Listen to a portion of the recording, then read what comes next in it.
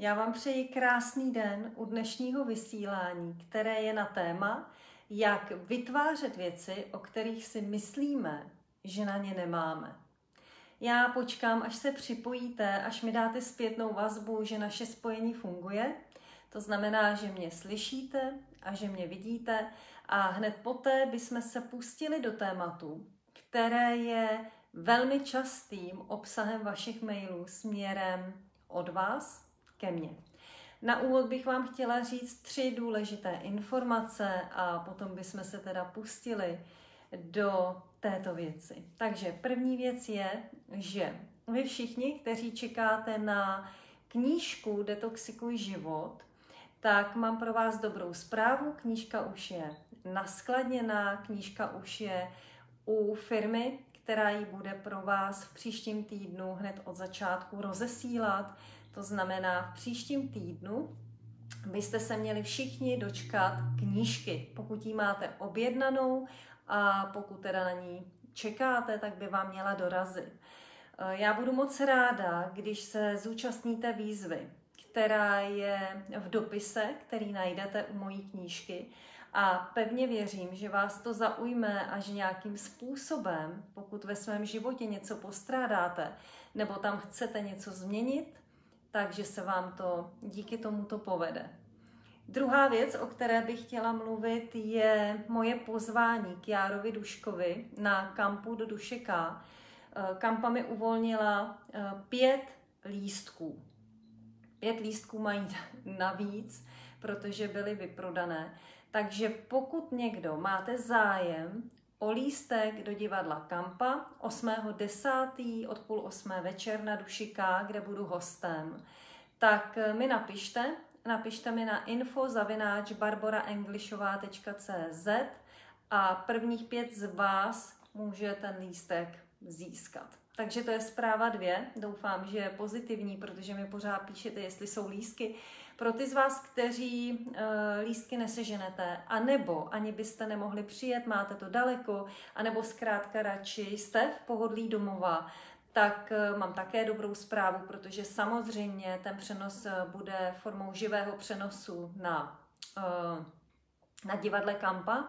To znamená, ten link už jsem sdílela tady na stránku Detoxikuj život, ale dávám ho sem ještě jednou k záznamu tohoto vysílání. Takže pokud pátek 8.10. na něj kliknete, tak tam pojede přímo přímý přenos divadla.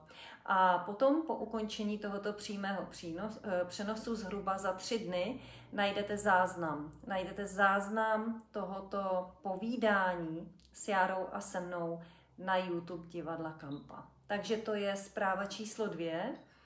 A zpráva číslo tři je, že eh, pro vás chystám takové překvapení a potřebuju k tomu od vás jeden krok.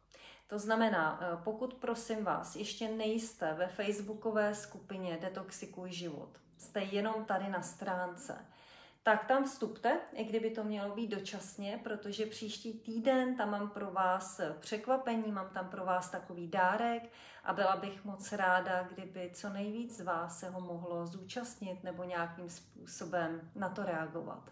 Takže pokud ještě nejste v uzavřené skupině Detoxikuj život, tak taky po ukončení tohoto živého přenosu najdete link eh, u záznamu tohoto vysílání. Tak a to je na úvod všechno, co jsem vám chtěla říct a můžeme pomalu se odebrat k dnešnímu tématu.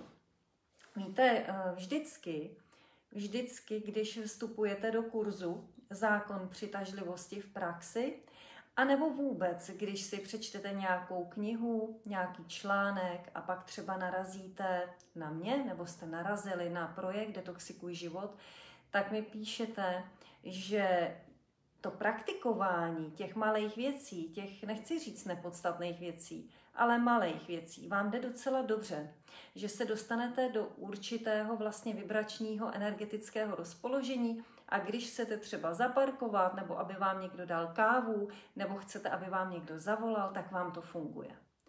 Ale když potom vnímáte, že máte nějaký velký sen, nějaký obrovský sen, tak zkrátka máte pocit, že budete muset se k tomu postavit jinak. A ptáte se jak, protože vám přijde, že tvorba eh, jedné kávy a tvorba například 20 milionů korun je rozdíl a že v tom postupu je nějaký rozdíl a hlavně se ptáte, jak na to, protože samozřejmě ve chvíli, kdy ten cíl nebo váš záměr je zkrátka větší, tak vy máte pocit, že se to jen tak nesplní a dostanete, dostanete se do takového toho eh, neprospěšného myšlenkového kolotoče. Takže já bych vám k tomu chtěla říct hned na úvod pár slov.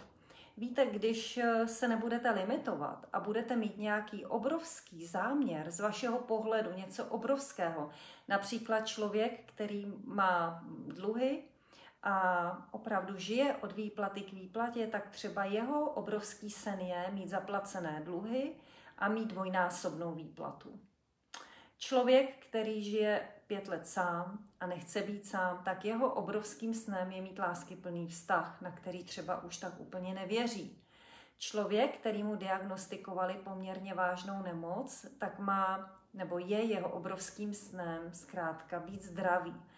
A tak to bych mohla pokračovat do nekonečna. A ono to je o tom, že zkusíme dneska ten princip celý otočit. Protože my, když většinou si řekneme, že máme nějaký velký sen nebo velký záměr, tak se soustředíme na, neproš, na neprospěšné věci. To znamená, začnou se nám v hlavě rojit pochybnosti, eh, začnou se nám v hlavě rojit všechny negativní věci, které nám kdo kdy řekl. Jo, to znamená, že nejsme na to dost dobří, dost chytří, nemáme dost zkušeností, dost praxe, nebo jsme už na to staří, Eh, nebo někdo je mnohem lepší. A my vymyslíme stovky důvodů, proč to nejde, anebo proč se to nemůže povést a věříme tomu. Ale ono jde k obrovskému záměru v úvozovkách přistoupit úplně jinak.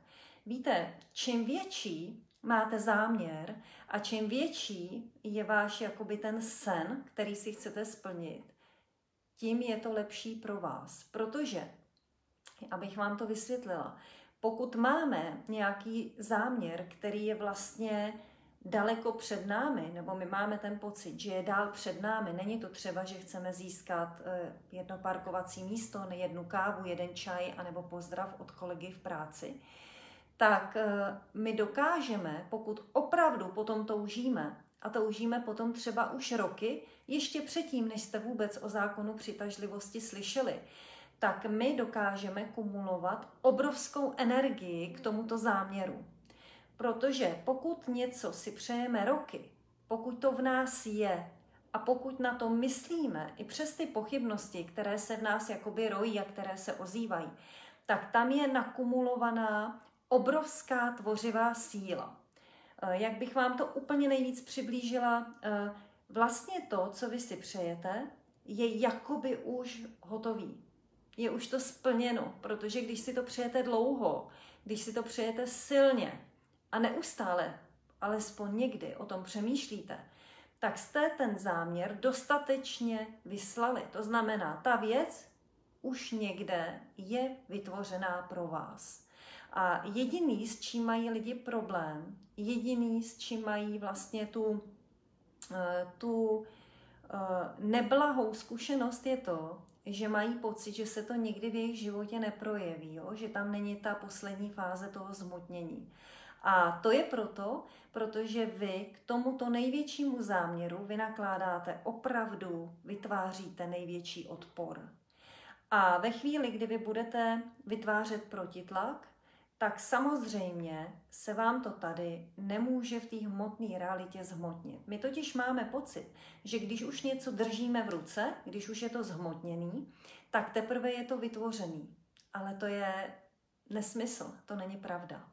Vytvořený to už je teď. Pokud na něco myslíte, po něčem toužíte, tak vytvořený to máte dávno. A vy to teď potřebujete jenom dostat do svého života. A tam to dostanete pouze, pokud dokážete uvolnit váš odpor. A to znamená zbavit se pochybností, začít věřit a emocionálně se dostat do stavu, jakože už to máte. Tyhle tři body nejsou vůbec jednoduchý, ale Pokud se dokážete alespoň přesvědčit, abyste to dva, tři týdny zkusili, stejně tak jako s každou jinou malou věcí, tak máte velkou šanci to získat. A ten zdroj vám začne do vašeho života přivádět lidi a situace a zkrátka věci, které potřebujete k tomu, aby se to stalo. Pamatujte si, potřebujete tři věci. Musíte definovat, co chcete a proč to chcete. Mnoho lidí s tím má problém. Pokud někdo řekne, chci 10 milionů, tak to opravdu nestačí. Vy musíte vědět, co chcete, a to většinou není 10 milionů. Nebo chcete mít 10 milionů naskládaných v bednách od banánů doma? K čemu? Na co je chcete? Proč je chcete? Prosím vás, zamysle se, zamyslete se nad tím a vyšlete seriózní záměr. To znamená, někdo touží po dobrodružství, někdo touží po svobodě, někdo touží po tom, že začne poznávat cizí země, někdo touží po jistotě a stabilitě. To znamená, že se bude cítit bezpečně v tom, že nemusí třeba, když nebude chtít, dělat něco, co ho nebaví. Každý z nás to chce pro něco jiného. Takže odpovězte si, proč to chcete. To je hrozně důležitý a co chcete. Ve chvíli, kdy budu vědět, že chci být naprosto svobodný člověk a poznávat eh, další nové země a nemít problém se například mezi nimi letecky přemysťovat, tak vím přesně, co chci. Vím i proč to chci. Protože se chci cítit svobodně a chci zažívat dobrodružství. A pak máte vyslaný seriózní záměr. Ta druhá věc, kterou musíte udělat, je, že musíte pochopit, že ve chvíli, kdy ho sesumírujete a kdy na něj myslíte, tak je vytvořený, je to hotový.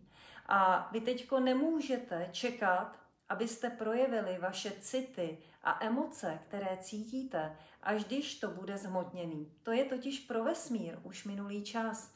Ve chvíli, kdy vy něco tady máte a je to v tom vnějším světě jasně zřetelné, tak pro vesmír už je to minulý čas. On to vytvoří teď. To je ta přítomnost. Vy to ještě nevidíte, ale vy byste teď měli projevit emoce, pocity a cítit se šťastní. Pokud tohle dokážete pochopit, tenhle jednoduchý princip, že ve chvíli, kdy to dobře eh, pojmenujete a ve chvíli, kdy máte důvod, proč to chcete, tak stačí ocenit to, že už to máte. A přestaňte, prosím vás, argumentovat tím, že to nevidíte. Je to vytvořený a je to na cestě k vám. Takže eh, začněte v sobě hledat emoce, které jsou spojené s tím, že už to máte. Představujte si, ať je to, co je to, že je to na cestě k vám. A prosím vás, prociťte do hloubky tu radost, prociťte to vzrušení, prociťte ty pocity, ty vděčnosti. Čím víc to budete dělat a čím víc vy sami sebe dokážete přesvědčit o tom, že to opravdu vytvořený je, tak tím dřív se to tady ukáže. A chci vám říct k tomu jednu věc. Ve chvíli, kdy se to začne tady v té realitě ukazovat, tak si uvědomte, eh, klidně, buďte vděční, oceňte to, ale uvědomte si v tu danou chvíli, že už to je vlastně minulost zase, protože už to tady je, vy už zase tvoříte něco jiného. Tenhle princip eh, je opravdu easy, ale málo kdo ho dokáže uchopit. My jsme zvyklí, že to, co nedržíme v ruce, nebo to, co nemáme na stole, takže to tady pro nás zkrátka není. A teď je třeba to naše myšlení otevřít úplně něčemu jinému a pochopit, že to tady už je ve chvíli, kdy to pojmenujete, kdy vypustíte ten záměr a kdy dokážete ho nejen pojmenovat, ale i říct, proč to chcete.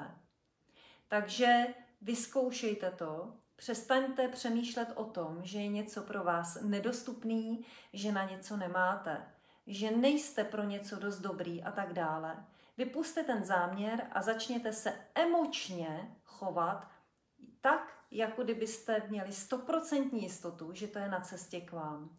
Nepřemýšlejte, prosím vás, jak se to k vám dostane a odkud, to není vaše věc. Přemýšlejte jenom o tom, jak byste se měli cítit, když už to je na cestě k vám. Pokud to zkusíte, pokud to zkusíte alespoň dva, tři týdny udržet, ve vašem životě se začne všechno poměrně velice rychle přeskládávat, abyste ke svému cíli došli a aby se váš záměr naplnil.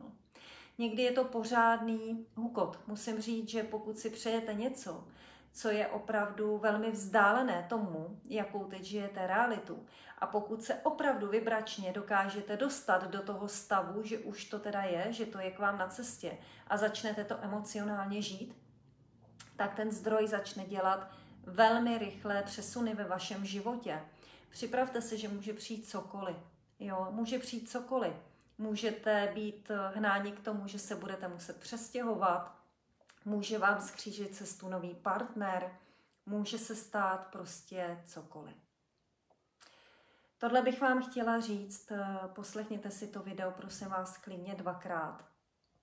Vyzkoušejte to, přestaňte se bát vašich velkých přání a napište mi, jak vám to funguje. Mějte se krásně.